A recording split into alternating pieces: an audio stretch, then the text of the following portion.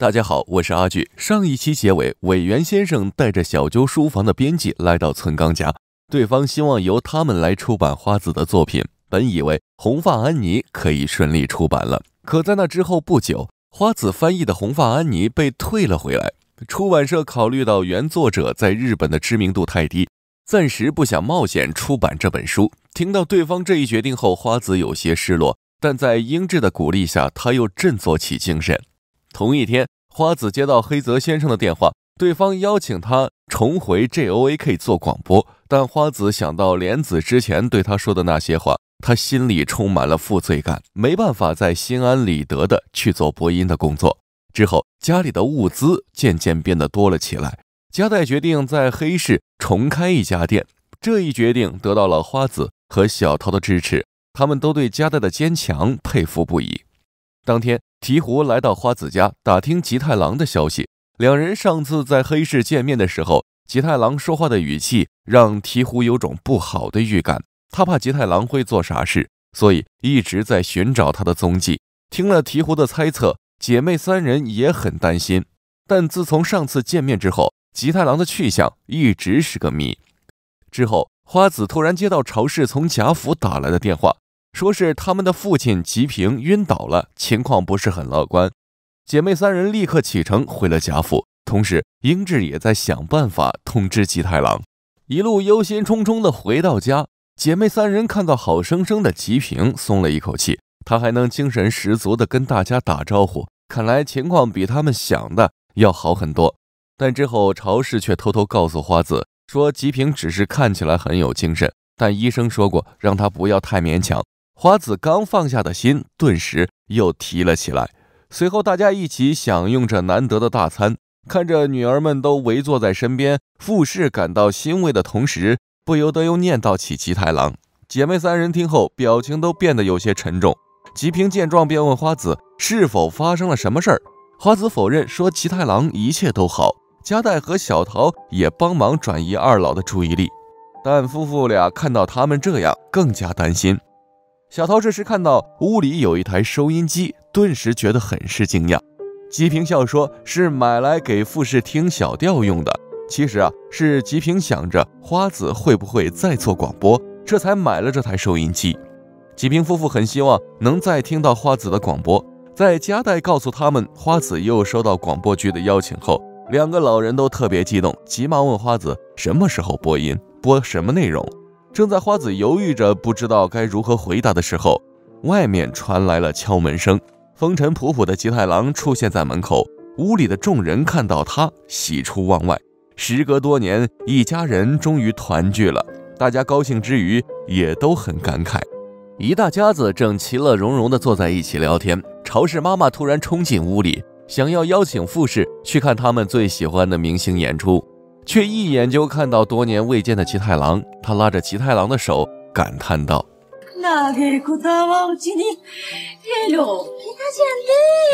大家听后顿时失笑。富士听到朝氏妈妈的来意后，虽然心里也很激动，但看到儿女们好不容易回来一趟，便拒绝了朝氏妈妈的邀请。朝氏妈妈只好一个人开开心心的走了。夜里见大家都睡着了，吉平悄悄起身来到外屋。和吉太郎促膝长谈起来，父子俩难得坐下来，心平气和的谈心。吉太郎终于说出了自己的心事，他告诉吉平，他发现自己曾经坚信的一切都是错误的，他离家这么多年做的事情也都毫无意义。吉平听后问了吉太郎一个问题：吉太郎承认。自己是有这个念头，甚至他觉得吉平也会希望如此。吉平却告诉他：“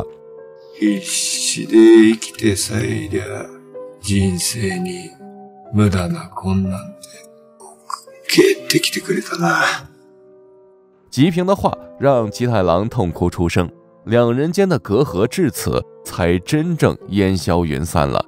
没睡着的花子听完两人的对话，不知不觉间也是泪流满面。不过他更多的是为他们感到高兴。第二天一早，吉太郎告诉大家，他决定今后要留在家里跟吉平学习酿造葡萄酒。吉平夫妇对此很是开心。家里的事情告一段落，花子便决定一个人提前回东京。临行前，朝氏来到花子家告别，两人谈起吉平希望花子再去做广播节目的事情。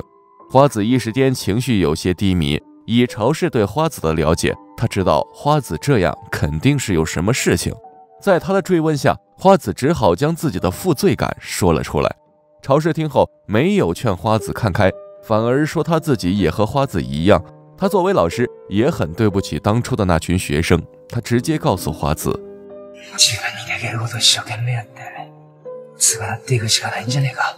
朝氏劝花子。”将那些之前不能说的话都说出来，也有很多孩子在期待他的那一句跪安。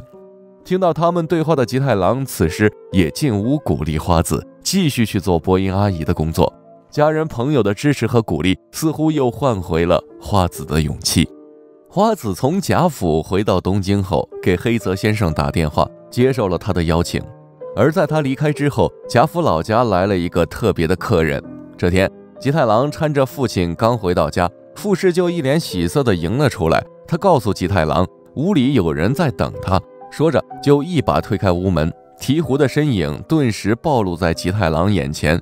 吉太郎很好奇，鹈鹕怎么会到家里来？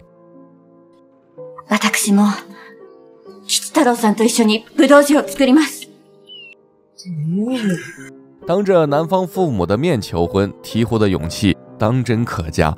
但吉太郎似乎不是很高兴，因为重要的话都被鹈鹕抢先说了。他作为男子汉，有失颜面，假意数落了鹈鹕两句后，吉太郎转身对着父母郑重说道：“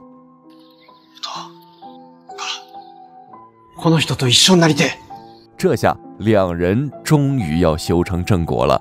双方刚确定完彼此的心意，门口就传来朝氏妈妈的声音。朝氏妈妈说完，就借口有事儿走了。吉平见此，不由得说：“这下全村人都要知道了。”不过，这样的喜事传出去，大家一起热闹热闹，似乎也挺好。吉太郎一家并没有任何意见。这一年新年伊始，花子时隔五年再一次做广播。当年听他广播的孩子们都已经长大了。如今再听到那句“跪安”，在夹带小吃店吃东西的学生也不由得感慨出声。正巧雨田川满代也在旁边吃东西。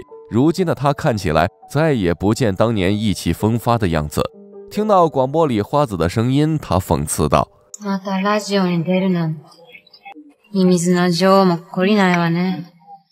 看来不管世道如何改变，雨田川的性格也是不会改变的。”在节目当中，花子提到是他推心置腹的朋友给他做翻译的勇气。另一边的莲子在听到这句话时，终于有了不一样的反应。他轻轻地叫了一声“阿娜姐”，被在一旁看书的龙一听在耳里。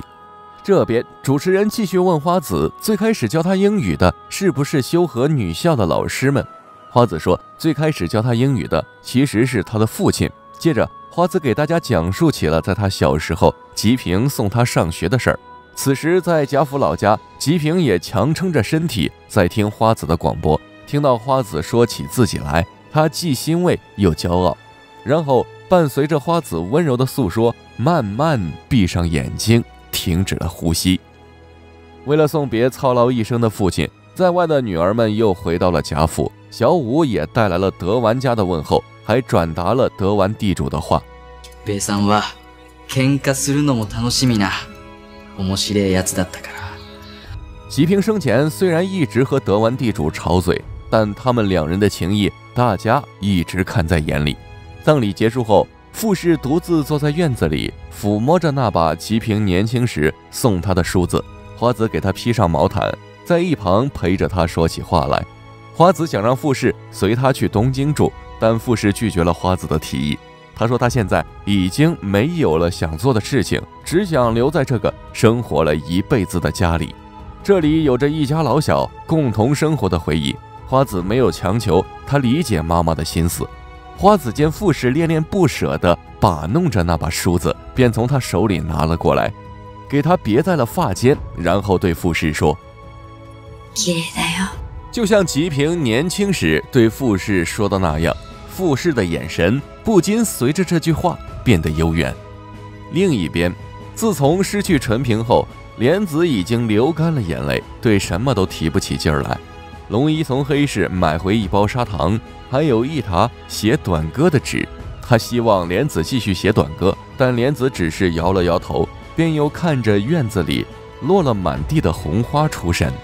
自从父亲去世后，花子一家的生活又回归了平静。这天，英智拿出一本书送给花子，这本书名字叫做《少女安妮》，是红发安妮的续作。英智托委员先生费了很大力气才找到，花子有些忍不住想读一读。但想到还未出版的《红发安妮》，他决定等完成与斯科特老师的约定后，再来打开这本续作。在那之前，他希望这本书由英智来保管。花子始终没有放弃要出版《红发安妮》，不停地在找出版社投稿。这天，花子在又一次碰壁后，来到加代的小店，正好碰到警察在追捕镇上的孤儿。有两个小女孩正好跑到加代的摊位，抱着加代的腿，请求加代救救他们。面对警察的询问，加代和花子十分紧张，但还是帮那两个孩子蒙混了过去。这次和孤儿们的相遇会成为加代人生中一个巨大的转折点。加代在救下那两个孤儿之后，还有心要收养他们。小桃和花子想要劝他打消这个念头，不光是因为他自己现在只能勉强糊口，要是再带上两个孩子，他会变得更加辛苦。另一方面，也是因为作为监护人要承担起更大的责任。但加代告诉两人，这两个女孩要是被警察抓住，会被送到收容所，整天被关在小黑屋里，也分不到什么像样的食物。他实在不忍心赶他们走，而且对于今后的生活中的艰辛，他已经做好了思想准备。听了加代的话，花子觉得她就像《红发安妮》中的玛丽拉。那个收养了孤儿安妮，并将她抚养长大的角色，加代的态度如此坚决，花子和小桃也不再劝他。两人还表示今后会多多帮忙。花子回到家后，将加代决定收养这两个女孩的消息告诉了英智和梅里。父女俩听到这个结果都很高兴。宫本龙一这时来到花子家，想要请花子去看看莲子。莲子一直无法接受纯平已死的事实。即便是已经收到了纯平的骨灰，他一直闷闷不乐的，连创作短歌的力气也没有了。事到如今，宫本龙一也不知该如何是好，只好来找花子求助。因为精神恍惚的莲子只恢复过一次情感，就是从收音机里听到花子声音的时候，所以也只有花子能让莲子重新振作。宫本龙一走后，英智也劝花子去看看莲子。只有同样经历丧子之痛的花子，能帮助他主动迈过那道坎儿。花子自己其实也很担心昔日的好友，但他内心实在有些害怕面对莲子。经过一番激烈的思想斗争，花子还是又一次来到了宫本家。在门口，他不由得想起了上次的经历，但他并没有临阵退缩，顿了顿之后，就敲开了宫本家的大门。再次见到花子的莲子，态度不再像上次那样冷硬。对于花子想要祭拜纯平的请求，也应允了。花子拜完纯平，便见莲子拿起骨灰盒摇来摇去，还是不相信那里面就是他的纯平。花子不知道该如何安慰他，只好先为自己的过错道歉。他告诉莲子，自己已经意识到了当初那些新闻给孩子们带来的不良影响。他为此深感自责，也无颜再来见莲子。莲子打断了花子不停的道歉，说他自己同样也被时代的浪潮所吞噬了，是他没能保护好纯平，还笑容满面的送他走上了这条不归路。莲子如今已经没有了怪罪花子的想法，他现在心里装满了自责和内疚。说着说着，莲子就痛哭出声，花子只好抱着他，任由他发泄出来。就像当初他失去小布的时候，莲子默默地抱着他那样，狠狠发泄了一通之后，莲子的状态已经有了好转的迹象。他也终于意识到，纯平不会希望看到他一直这样。花子回去后，一个人待在书房想了很久，最后他有了一个不错的想法，那便是请莲子通过收音机，对那些在战争中失去孩子的母亲们诉说他内心的悲痛。让那些母亲们能够从中获取力量。花子的想法得到了英智的支持，黑泽先生那边也顺利通过了。于是，莲子在花子的鼓励下，到 JOAK 做了第一次广播演讲。这篇演讲叫做《关于和平的宝贵性》。莲子以自己丧子的切身体会，发出面向所有母亲的呼吁：もしも女ばかりに政治を任されたならば、戦争は決してしないでしょう。做完这段演讲之后，莲子似乎也获得了更多的力量，她的脸上重新出现了笑容。 再次在跟花子告别时说跪安，也重新提起了写短歌的笔。看到焕发新生的莲子，宫本龙一忍不住喜极而泣。在那之后，为了不糟蹋书本，村冈家在院子里开启了一间全日本最小的儿童图书馆，让周围的孩子们都能借读家里的书本。花子他们把这间图书馆命名为小布图书馆，馆长是已经十八岁的梅里。而英智则担任副馆长。当天下午的时候，门仓社长和小泉前来拜访花子，询问他有没有新作品可以出版。花子再次拿出了那本《红发安妮》。在过去的六年时间里，花子四处奔波，寻找着能够接受这本书的出版社，但直到现在也没能找到。小旧书房当初也拒绝了这本书，但门仓社长此次看到他。脑子里似乎没有任何印象。面对小泉和花子的极力推荐，他问出了一个令人吃惊的问题：“本当にそんなに面白いの？”原来他当时没有看就拒绝了这本书，因为当时公司没那么多资本去冒险投资一部作者没什么名气的书。而在他看来，这本书的主题也很平凡。站在屋外偷听的梅里听到他的话。 顿时就生气地冲进屋里，大骂门仓社长过分且无礼。花子赶紧责令梅里向门仓社长道歉。门仓社长自知理亏，没有为梅里的唐突感到不悦，反而心虚地表示自己马上就读这部作品。这个故事太过精彩，门仓社长读起来就停不下来了。直到深夜，花子一家到来，梅里趁机为下午乱发火的事情向门仓社长真诚道歉。门仓社长却觉得这没什么不好的，还说他就像主人公安妮·雪莉一样。门仓社长读完原稿后很是激动，当下就决定马上要出版这本书，火急火燎的就离开了花子家。花子一时间反应还跟不上来，之后花子急忙对翻译稿进行润色，润完色后还需解决书名的问题。这本书的取名经历了一些波折。原作品名直译过来是“绿山墙的安妮”，但花子觉得日本人不熟悉“山墙”这个词，便重新想了几个名字。在跟门仓社长和小泉讨论过之后，决定叫她“倚在窗旁的少女”。花子将这个名字告诉家人后，英智和他的想法一样，也觉得这个名字浪漫而富有幻想力。梅里却评价他很老派。几人在讨论的时候。正巧门仓社长那边打来电话，提供了红发安妮一名。他和小泉都觉得这个名字挺好，花子却认为他过于直白，没有让人想象的空间，直接就否决了。但梅里听后觉得这个名字很棒。英智也劝花子考虑年轻人的品味，于是这本书的日文版正式定名为《红发安妮》。这本书很快就印刷出来。英智和梅里知道他对于花子的意义。都为他感到开心。时隔整整十三年，花子终于完成了与斯科特老师的约定，但斯科特老师再也看不到了，因为他在回到加拿大后没几年就过世了。红发安妮在书店正式发售后的某天，羽田川满带气势汹汹地出现在花子家门口。见到开门的花子，他将一本《红发安妮》举到花子面前，径直问道：“哪なのよこれは？”